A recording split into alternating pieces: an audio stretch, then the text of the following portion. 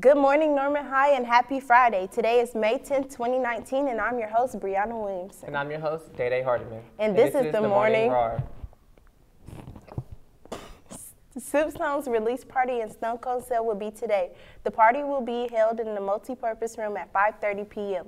Be sure to support your NHS literary magazine.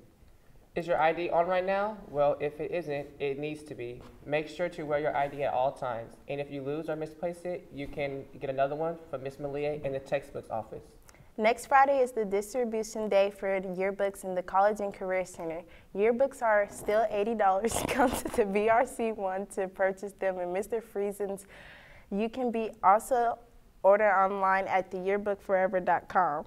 May 13th is the last day for 8th grade reading equivalency test in the 501 at 4.15 p.m. The orchestra spring concert will be held May 13th at the Center of Performing Arts at 8 a.m. p.m. And the band's spring concert will be May 14th at the Center of Performing Arts at 8 p.m. French Club will have their crepe sale of the year during today at upperclassmen lunch. Crepes are $2 and come with the choice of two toppings strawberries, bananas, honey, chocolate syrup, and Nutella, topped with whipped cream. Come support the French Cub at lunch. We'll be right back after this promo. The Norman High Theater Department is proud to present six exciting tales of wonder and amazement. Written and directed by young artists of the highest degree, and starring your fellow friends and peers. Tales of excitement, tragedy, romance, comedy, and adventure, all presented this Thursday and Friday night in the Norman High School Theater.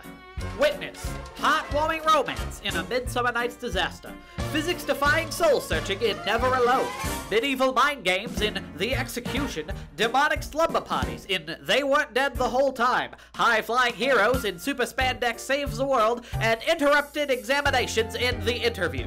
Come see these incredible stories come to life this Thursday and Friday night at 7 p.m. on the dot in your very own Norman High School Theater.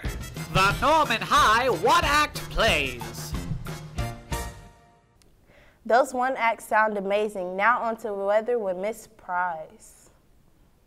What up, Norman? Hi! Today, gonna be a calm day with a high of 65. Tomorrow, also gonna have a high of 65. Some scattered thunderstorms though, so bring the umbrella. On Sunday, we're looking at a cloudy sky, back to a high of 74. But I don't really know, I only teach math. Back to you. Anyone interested in running cross country next season, there will be a meeting immediately after school on Monday, May 13th for the girls and Tuesday, May 14th for the boys.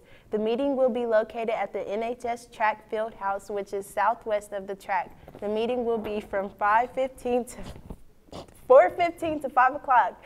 These are mandatory meetings. Volleyball trials are next week on Monday, Tuesday, Wednesday, and Thursday at 4.30 p.m. in the North Gym. Contact Coach Taylor Brown for more information. Noticing a lack of seniors in class, today was senior day at the elementary schools. I hope everyone had a good time. I did. Final exemption applications are due back on Tuesday, May 14th at 4 p.m. Let's give a big shout out to Coach Menard and the track team. They will be competing in state today and tomorrow and more. Go Tigers, let's bring home some medals. That's all for announcements, and have a great day. And remember, it's always a great day to be a tiger. Roar!